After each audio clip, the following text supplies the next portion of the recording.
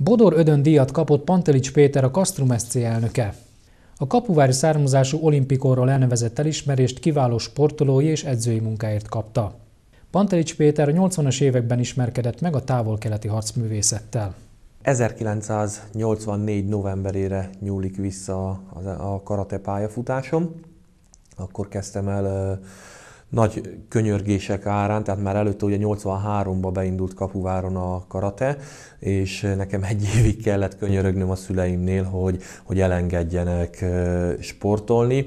Egyrészt akkoriban szokatlan volt az a rész, hogy tagdíjat kelljen fizetni azért, hogy valaki sportolhasson, mert mennyi fiam focizni vagy kézilabdázni, sportkörök voltak, ingyen lehetett, sőt, adtak messz, csukát, minden ilyesmit. És, és miért pedig... pont a karate? Tehát mi az, ami vonzott ebben? Hiszen azért ez egy kemény küzdősport. Fiú létedre ez, ilyen típusú ember voltál gyermekkorban is, hogy szerettél küzdeni dolgokért? Uh, igen, tehát ha azt vesszük, akkor, akkor világéletemben olyan nyughatatlan sajtkukac voltam, aki, aki mindig, mindig izgága volt, és, és kerestem a sportot. Tehát ugye atlétizáltam, kézilabdáztam, fociztam, nem igazán volt tehetségem hozzá, tehát akartam meg minden, és lehet, hogy, hogy talán az edzők voltak azok, akik úgy egy kicsit visszafogtak, és amikor elmentem karateedzésre, akkor ugye azt látta az ember, hogy, hogy nem csak a mondjuk ha elmentünk futni, akkor nem az volt, hogy a testnevelő tanár fölült a biciklire, és akkor tekert mellettünk, vagy,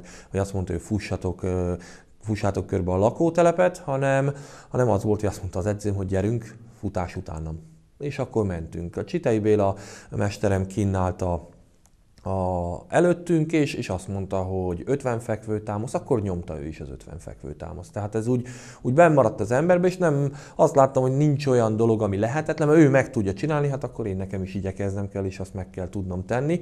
Tehát egy ilyen jó motiváló dolog volt. És a 80-as évek közepén mennyire volt ez érdekes dolog, különleges, hogy valaki karatézhatott, hiszen akkor még a videók nem voltak elterjedve, tehát nem láttunk annyi harcművészeti filmet, Bruce Lee filmeket, ugye később érkeznek azok meg, tehát mennyire volt különleges ez?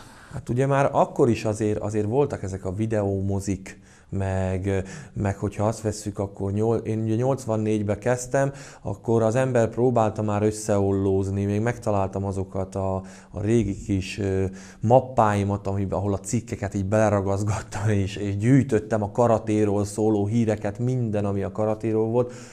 Voltak akkoriban Ibusz a kupák és egyéb ilyen versenyek, hát 10 két éves voltam, illetve utána 13, az egy hatalmas élmény volt elmenni Budapestre, látni uh, Szószájt, uh, a Kyokushin karate alapítóját, az ember mindent, ami, ami, ahol az volt, hogy karate, ugye nem volt internet, ahol az volt, hogy karate, azt úgy szívtuk magunkba, aztán ugye a videómozik, Bruce Lee filmek, Chuck Norris, stb és, és az ember ez így, így megfogta, meg az, hogy a, a társak is lehetett, lehetett edzeni, tehát beállt egy rendszer, ami azt mondjuk, hogy annak idején még kedden és pénteken a Széchenyi, illetve a hármas iskolába, a Széchenyi általános iskolában megvoltak mindig az edzések, és mi ezt természetesen megpróbáltuk kiegészíteni, akkor nem voltunk olyan szuper körülmények között, mint most, hogy egy saját edzőterembe edzhetnek a gyerekek, bármikor jöhetnek. Mi akkor garázsokba edzettünk, pincékbe, amikor készültünk a versenyekre, tehát mínusz fok volt, akkor kim voltunk a, a KSE pályán, hogyha nem esett az eső, akkor már jó volt. Ha esett az eső, akkor a KSE pályának a tribünjén ö, futottunk, és emlékszem, még nem voltak még kimondott sportcipők se, ugye ezek a kínai fehér tornacipők voltak azok, amiket az aszfalton, hogyha edzettünk, akkor elég gyorsan leamortizálódtak. Tehát ha azt veszük, akkor elég spártai körülmények között csináltuk, azt mondtuk, hogy ettől leszünk erősek, meg ez a jó, meg, meg nem sajnáltuk magunkat, tényleg az egyikünk húzta a másikat, tehát dolgoztunk. Ugye szószáj Olyamáról néhány szót, ugye a stílus alapító, ha személyesen hát találkoztál vele, láttad őt maga valójában. Hát egy-két szóban azért mindenképpen, mert ő egy különleges egyéniség volt, világszerte ismert Japánban nagyon tisztelik, máig ugye voltatok is a, a Szentébe, illetve a sírjánál, de milyen volt egyáltalán látni őt? Ugye akkoriban amit az ember nagy örömmel és csak távolról tudtuk ezt így, így megtenni, mert hát fehérövesként hogyan jöttem én volna még ahhoz, hogy, hogy a szószáj közelébe kerüljek. Az ember végig azért dolgozott, meg azon igyekeztem, hogy egyszer kijuthassak én is a világbajnokságra, mint versenyző. És ugye az, az így a, a kitüntetésben is ott volt, vagy, vagy szerepelt, hogy lényegében mm, a mai világban úgy néznek ki a dolgok, hogy én fogom, elmegyek egy OK és képzésre, és holnaptól személyi edző vagyok. És oktatok embereket, hogy, hogy akkor ezt most így kell csinálni, úgy kell csinálni. Vannak szűk berkeinkben, itt a Rába közben is olyan harcművészet oktató emberek, akik mondjuk életükben nem voltak a ringbe, vagy nem versenyeztek.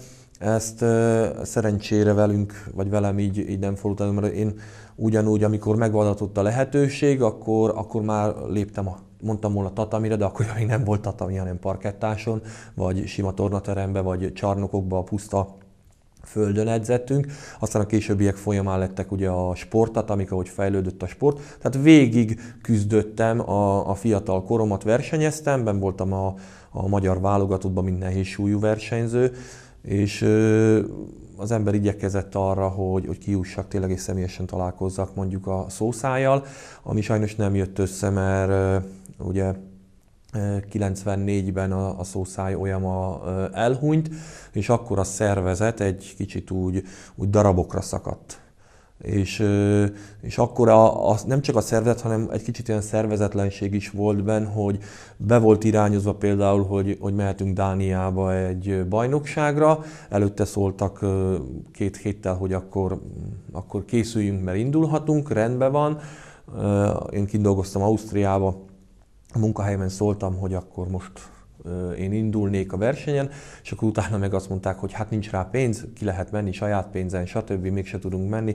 Tehát elég ilyen, ilyen összeszedetlen dolgok voltak, a, és akkor ugye a fiatalként azt mondta ott kint Ausztriában a főnököm, hogy jó, jó, rendben van, karatézol, jársz az Európa-bajnokságra ide-oda, de őt az érdekli, hogy mikor fogok főzőcskézni, illetve mikor fogok a vendégeknek a Wiener Schnitzelt meg a többi ételt elkészíteni. Ugye mert az eredeti szakmák egyike a szakács szakma. Igen, igen, igen, tehát én nem a sportból élek, hanem a, hanem 20 évig szakácskodtam ki Ausztriába, aztán jelenleg most számítástechnikával, tehát informatikus mérnökként végeztem Budapesten, weboldalakat készítek, tehát ez a, ez a karate, ez a hobbi az embernek, és ilyen téren Ugye akkor döntenem kellett 94-ben, hogy válogatott versenyző maradok és és egyszer kijutok Japánba, és majd versenyzek ott a, a nehézsúlyban, vagy pedig, vagy pedig elkezdek családot alapítani. Ugye ez nem egy szponzorált sportág, az ember gondolkodott, hezitált, és amikor a, a Sihán Furkó Kálmánnal beszéltem, és mondtam, hogy gond van, mert kint Ausztriában nem nagyon örülnek annak, hogy én a hétvégéken mondjuk versenyzek, vagy éppen edzőtáborozgatok a válogatottal, és mondtam, hogy hát én fölmondok Ausztriába. Hát a, az öreg nyers katonatisztes válaszából egy rövid mondattal ennyit mondott, hogy ölék hülye vagy, tehát ezt, ezt a részét, és akkor én elgondolkodtam azon, hogyha az öreg ekkora, tehát az élete, a karate is így e, ezt nyilatkozza, hogy, hogy tényleg most az anyagiakat választom, vagy az, hogy kijuthassak egyszer Japánba és a VB-n ott szerepeljek, akkor, akkor én is elgondolkodtam. Meg ugye jött a szerelem, család, stb. És akkor így egy pillanatra a, versenyzői pályafutásom, a karrierem abba maradt. Aztán, aztán 2000-ben, illetve 1999-ben újra, mikor hazajöttem, ott hagytam a, a folyamatos munkát Ausztriába, akkor már csak hétvégeken voltam, tehát egy kicsit szabadabb volt a, a, a mozgásom akkor a német Gáborral készültünk együtt világkupára versenyekre, és ahogy készültünk együtt, segítettem, közösen edzettük, akkor így, hát próbáljuk meg, fölállok, tudok még erőset ütni, nagyot rúgni, fiatal vagyok még, ha azt vesszük, akkor 30 éves, 28-30 éves voltam, és elindultam a, a, a horvát bajnokságon nehéz súlyba, akkor az első ilyen versenyen bronzérmes lettem, És az embernek ugye mellette azért a család ott volt, tehát dolgozni kellett, minden, minden napok, mindennapi teendők megvoltak.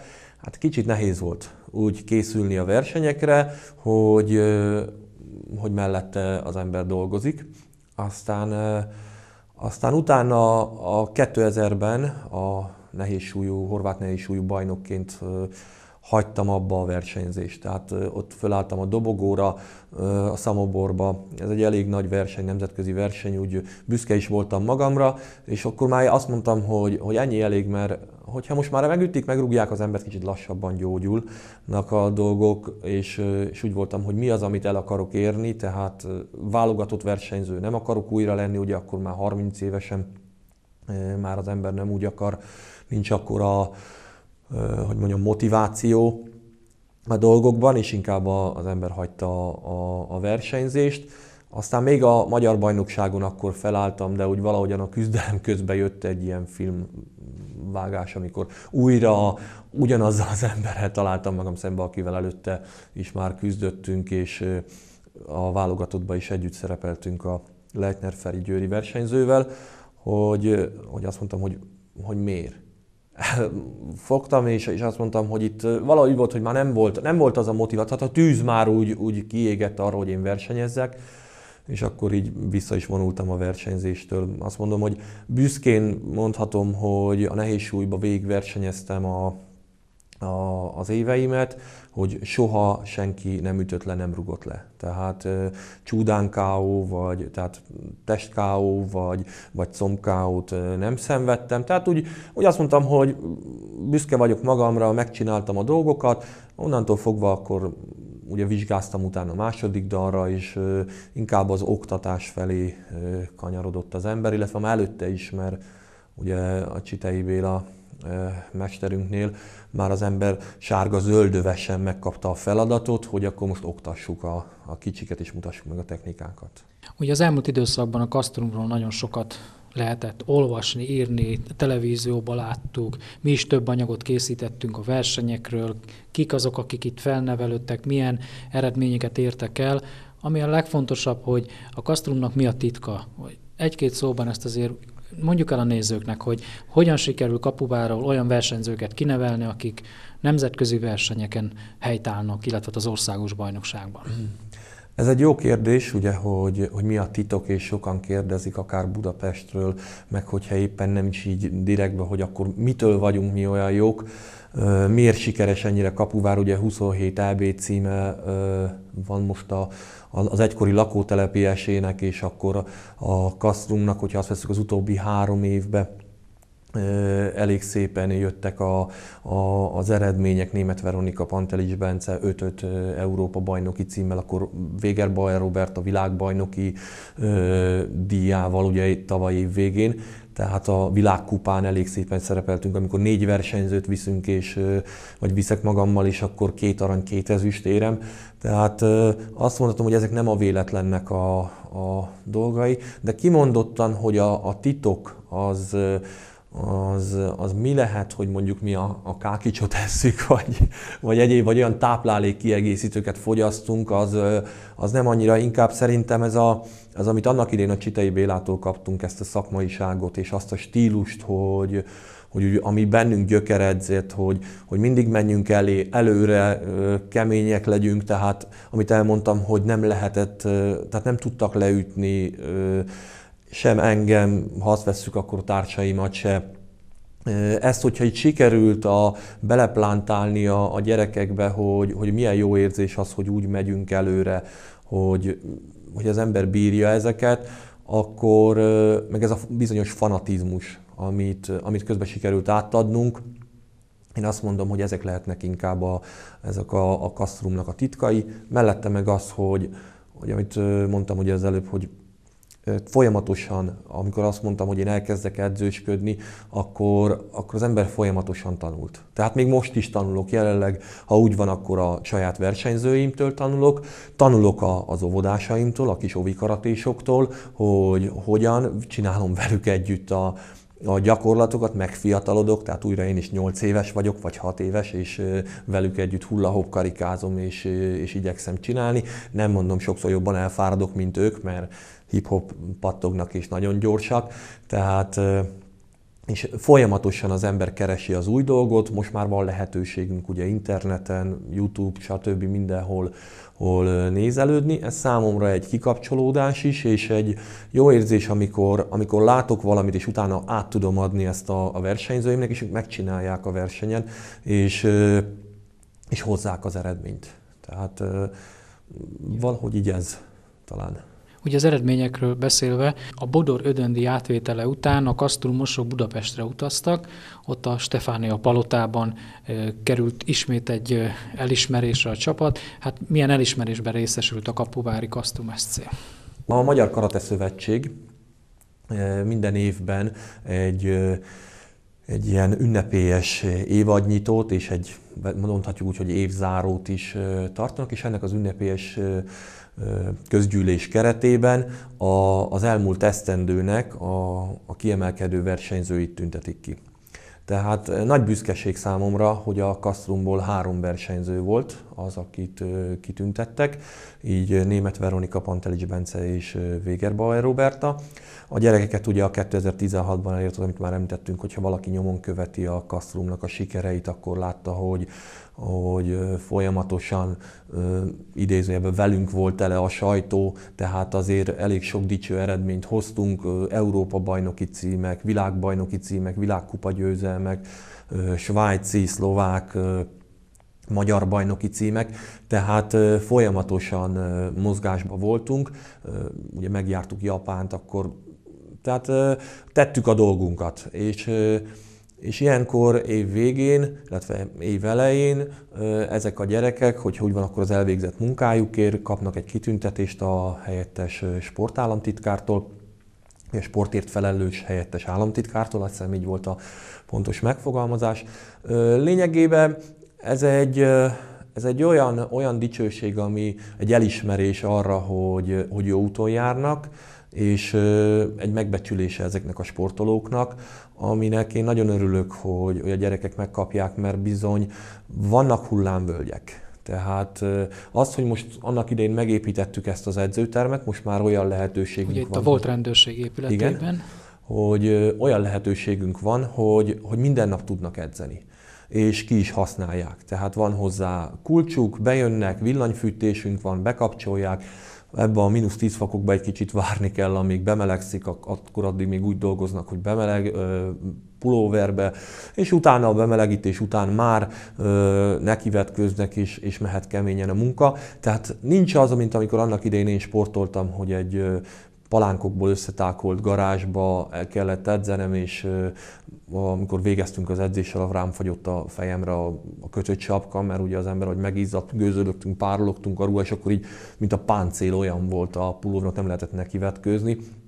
Itt szép tiszta körülmények vannak, tudnak edzeni, megvan minden, hogyha valami olyan felszerelés van, akkor azt igyekszünk megszerezni, tehát a körülményeink adottak, és, és e, ezt a gyerekek kihasználják, ugye, amit sokszor tehát ez, amikor a, vannak a, át, kell, át kell libbenni azokon a, a nehézségeken, amikor azeken a holdpontokon, amit nem csak a fizikai, hanem közben a lelki vagy, vagy a mindennapos dolgok okoznak, tanulás, iskolába járás, otthoni problémák, stb. szerelmi ügyek, mert most ugye már mondhatjuk azt is, hogy, hogy a, a tinédzser korban már ilyenekkel is foglalkozni kell, és ezeken a holdpontokon, hogy átjussanak, akkor, akkor mégiscsak évvégén az egy, az egy nagyon jó dolog, hogy, hogy kicsit pajzsra emelik őket és, és megtapsolják.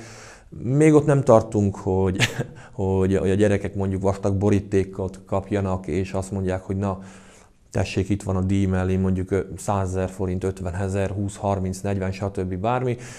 Egy kitüntetés van, ezek a gyerekek nem azért csinálják, hogy, hogy pénzt kapjanak, de őszintén megmondva jó lenne, hogyha ha odáig is eljutnánk, hogy nem csak a más sportágakban, megyei vagy területi szinten ugye honorálják a mindennapi munkájukat, azt is, akit ha azt vesszük, akkor kevesebbet dolgoznak és kevesebb eredményeket érnek el, viszont anyagilag meg jobban megbecsülik őket.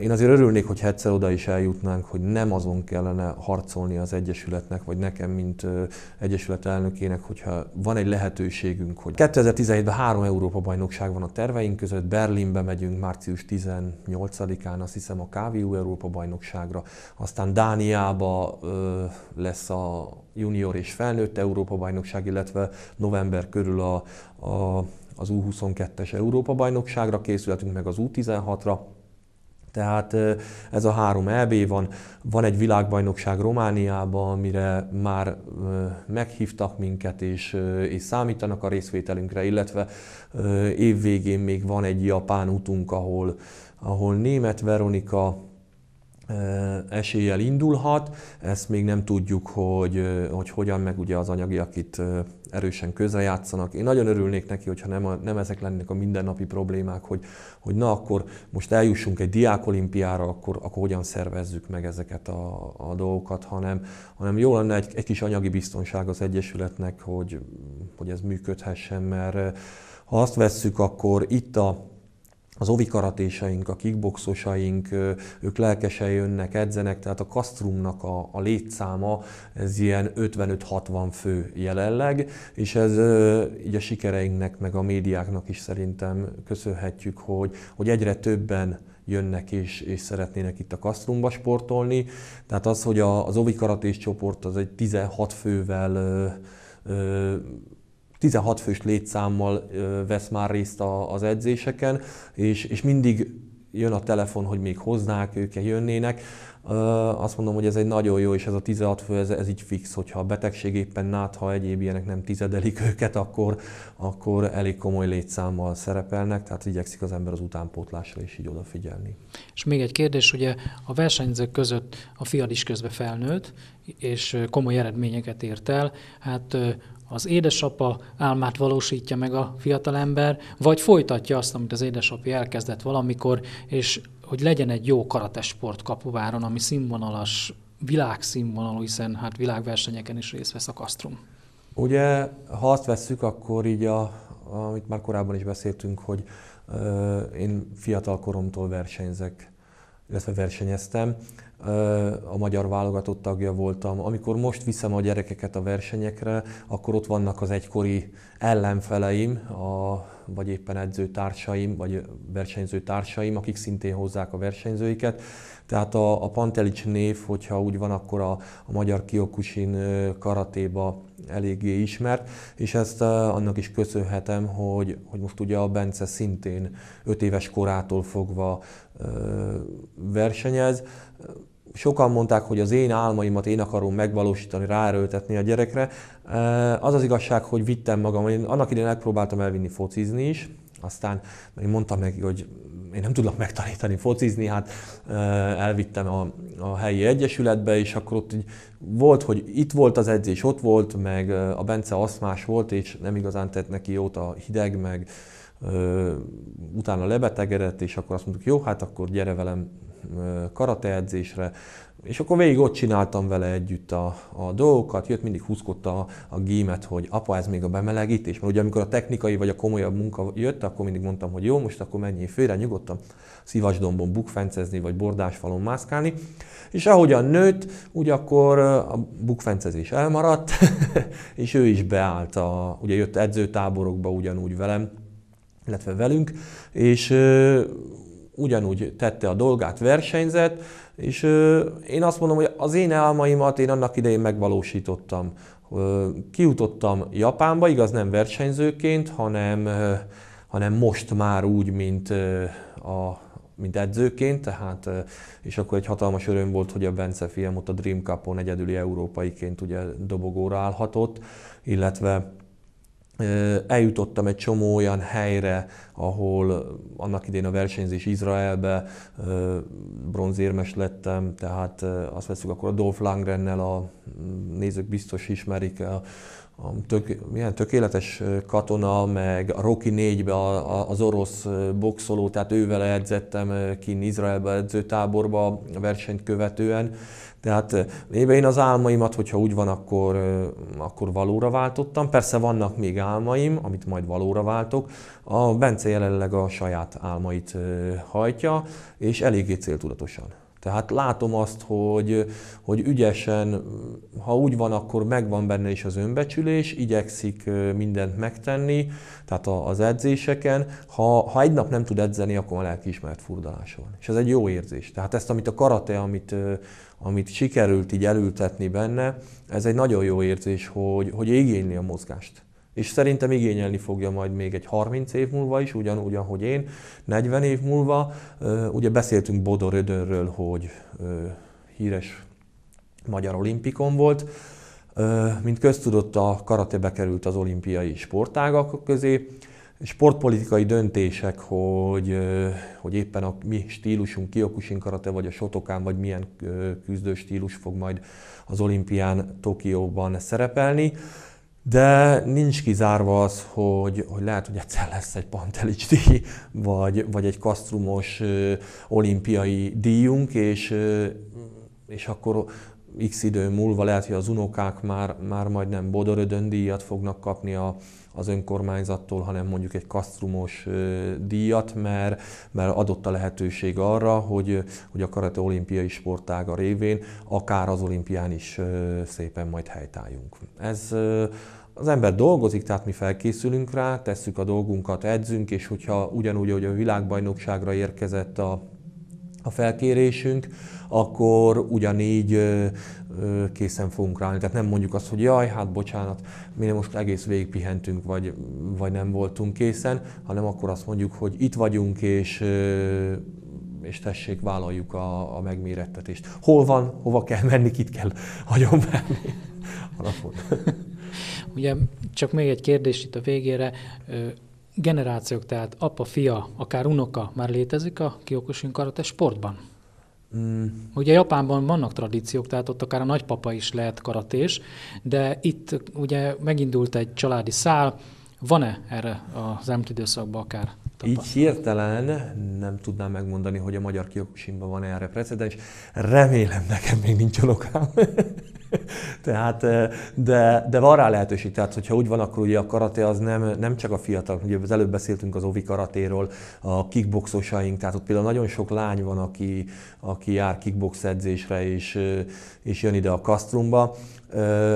Például a régi karatés társaim, egykori versenyző társaim jönnek vissza, és, és együtt edzünk velük, és hozzák a gyerekeiket. Tehát előbb-utóbb meg lesz az, hogy, hogy majd az unokát is, és és akkor majd, majd remélem, hogy én is azt, mond, azt tudom mondani, hogy jó, mondjuk Bence fiam, te, te foglalkozz a nagy versenyzőkkel, én meg majd fiatalodok tovább a, a, a te gyermekeddel, vagyis akkor itt fogom oktatni a, a, az ő, ő kisfiát vagy kislányát. Tehát ez egy olyan sport, ami, ami az, hogy, hogy még nem szándékozunk felakasztani a kesztyűt a, a szögre, lehet csinálni. Igaz már nekem mindenhol fáj, tehát hazudnék, hanem azt mondanám, hogy szétnyírtam magamat, és kicsit eszetlenül csináltam, és azért is mélyedtem el a képzésekbe, meg minden ilyen oktatásba, hogy a gyerekek elé intő például még, hogy figyelj, ne így csináld.